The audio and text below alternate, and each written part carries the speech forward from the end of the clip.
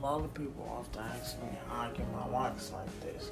So if you wonder how I got my super duper cool curly gel locks like this, all you have to do is a braid out, man. And if you're wondering what the braid out is, stay tuned. What up, though, DnP Nation? No exacerbation weight is only an AC. If it's DnP Nation, indeed, this will be my very first braid out. So, don't worry about to take these up. And I'll let y'all know how to look in the city. Wife cooking, so I'm start taking down my hair by myself. But you know what, DnP Nation? We got this, you feel me? We got this.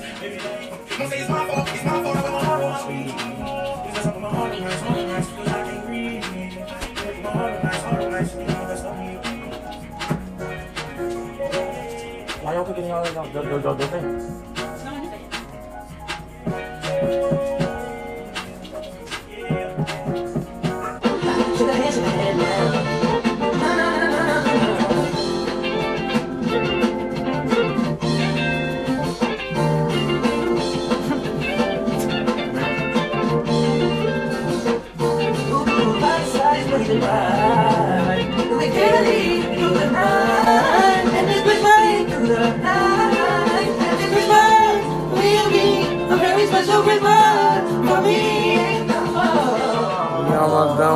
done with one side, DnP Nation.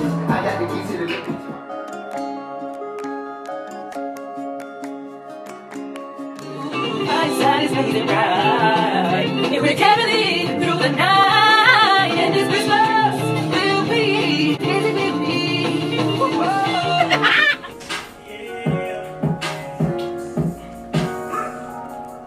Done with the braid out. Oh.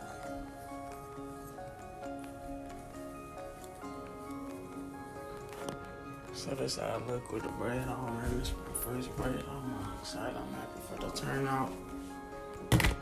Braid out legit, baby.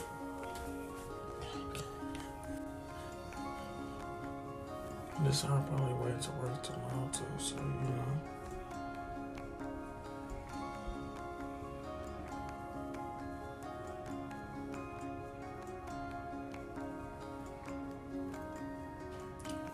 Mm.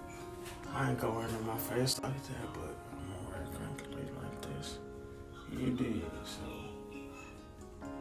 Yeah, so with the braid all you do absolutely nothing but braid your dreadlocks into single individual plaques.